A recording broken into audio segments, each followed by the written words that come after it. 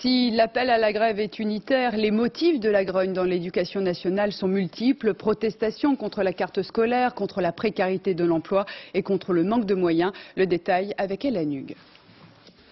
L'unité syndicale retrouvée, du jamais vu depuis cinq ans. Les cinq fédérations syndicales de l'éducation nationale ont réussi à s'entendre autour d'un même mot d'ordre, non au gel de l'emploi public et à la précarité. En pointe dans la mobilisation, les enseignants des lycées professionnels. Depuis le retour des vacances de février, nombreux sont en grève pour protester contre la réforme de leur statut. Plus largement, ce sont tous les mécontents du système éducatif et des réformes allègres qui se retrouveront sous une même banderole, élèves, étudiants et fait nouveau, les parents d'élèves de plus en plus combatifs pour obtenir des postes ou des moyens de lutte contre la violence. Face à cette mobilisation, Claude Allègre fait le dos rond. Hier toutefois, il a annoncé un plan pluriannuel de développement pour le Gard et l'Hérault, en grève depuis six semaines. Des négociations s'ouvriront dès lundi.